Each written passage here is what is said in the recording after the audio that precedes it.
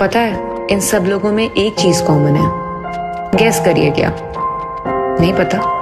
चलिए एक हिंट देती हूँ। ये सब आपके परिवार से जुड़े हैं। अरे, फिर भी नहीं पहचाना आपने इन्हें। चलिए कोई बात नहीं। वैसे भी ये लोग पर्दे के पीछे ही तो काम करते थे। इन सब की डेथ हो गई है कोविड से। ताकि आप और आपका परिवार सेफ़ रह सके। और यही तो है परिवार का मतलब। अपनों की रक्षा करना। जो हमारे लिए जान दे सकते हैं। वो अपने सगे नहीं तो फिर कौन है?